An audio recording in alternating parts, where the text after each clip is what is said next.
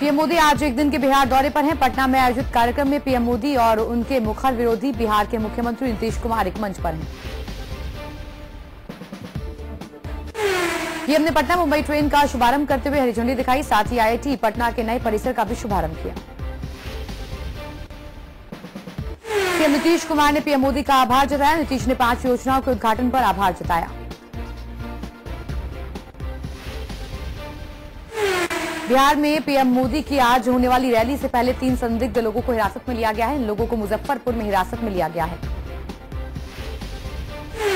IB ने alert जारी किया है कि आज बिहार दौरे के दौरान प्रधानमंत्री नरेंद्र मोदी पर प्रशिक्षित माओवादी महिला को मानव बम के तौर पर उनके खिलाफ इस्तेमाल किया जा सकता है। तीन साल का कार्यकाल पूरा होने पर राष्ट्रपति प्रणब मुखर्जी आज राष्ट्रपति भवन में डिनर देंगे, जिसमें पीएम मोदी कांग्रेस अध्यक्ष सोनिया गांधी और दिल्ली के मुख्यमंत्री अरविंद केजरीवाल शामिल होंगे।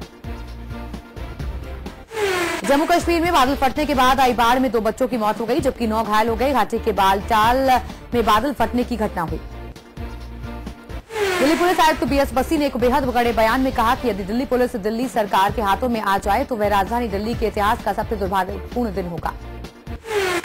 चिकित्सा और परिवार कल्याण राज्य मंत्री शंखलाल मांझी ने खिलाड़ी को के मौत के मामले में सीधे सीधे पीएम नरेंद्र मोदी को जिम्मेदार बता दिया।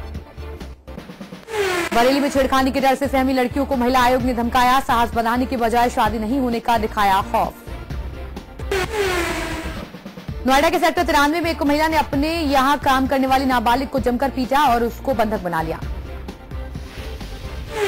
बलरामपुर के जिला अस्पताल में एक बार फिर डॉक्टरों की अमानवीयता सामने आई है। जब मारपीट में घायल महिला को घंटों तक डॉक्टरों ने इमरजेंसी वार्ड के सामने फर्श पर लेटने को मजबूर कर दिया।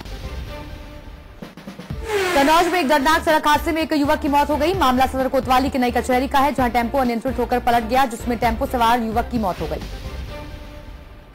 बहराइच के थाना इलाके में मोतीपुर इलाके में बॉर्डर पर तैनात एसएसबी के जवानों ने घेराबंदी कर चार नेपाली तस्करों को गिरफ़्तार कर लिया। हापुड़ में शराब के नशे में धुत पति ने पत्नी पर चाकू से हमला कर दिया, जिससे पत्नी की घटनास्थल पर ही मौत हो गई। आशाराम मामले में मारे गए गवाह अखिल गुप्ता हत्याकांड मामले की जाँच अब सीबीआई करेगी। सीबीआई जाँच की संस्तुति किए जाने का परिवार ने स्वागत किया है। लखनऊ के पीजीआई इलाके में गाड़ी ओवरटेक करने को लेकर एक भूमाफिया महाराजगंज में तैनात सीओ से भिड़ गया। बात इतनी बढ़ गई कि उसने गाड़ी से राइफल निकाल सीओ के सामने ताबड़तोड़ कई राउंड फायरिंग कर डाली। मेरठ के माधवपुर सेक्टर दो में दो लड़कियों के बीच मामूली कहासुनी को लेकर झगड़ा हो गया और झगड़ा इतना बढ़ गया कि दोनों लड़कियाँ आपस में भिड़ गईं। चंपावत में टनकपुर में पूर्णागिरी मार्ग पर किरौड़ा के पार करते समय पाँच लोग बरसाती नाले में बह गए, जिसमें से दो लोग बाहर आ गए, जबकि दो बच्चों समेत तीन लोगों का अभी तक पता नहीं चल सका है। रुड़की के जस्सोवाला गाँव के पास खेत में खेलते हुए चार साल के बच्चे को गुलदार ने अपना शिकार बना डाला, सूचना मिलने पर वन विभाग के अधिकारी मौके पर पहुँचे। वेलकम बैक में नसरुद्दीन शाह, अंधे पात्र बने दिखाई देंगे। वो एक खतरनाक डॉन बने हैं, जिसकी पुलिस को तलाश है।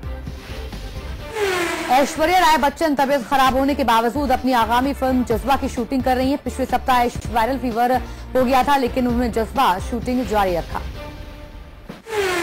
राजनीति से रितेश देशमुख का नाता पुराना है। उनके पिता स्वर्गीय विलास राव देशमुख एक कदावर राजनीतिज्ञ थे और केंद्रीय मंत्री थे। रितेश का कहना है कि वो राजनीति समझते हैं और ये उन्हें अच्छी भी लगती है। कंगना रनौत को उनके फ़ैशन और स्टाइल के लिए प्रशंसकों की तारीफें तो मिलती ही हैं। गायिका सोफी चौधरी ने भी कंगना को सबसे स्टाइलिश बताया है। कृति सेनन आने वाली 27 जुलाई को 25 साल की हो जाएँगी। इस खास मौके पर वे अपने पेरेंट्स के साथ सेलिब्रेट करेंगी।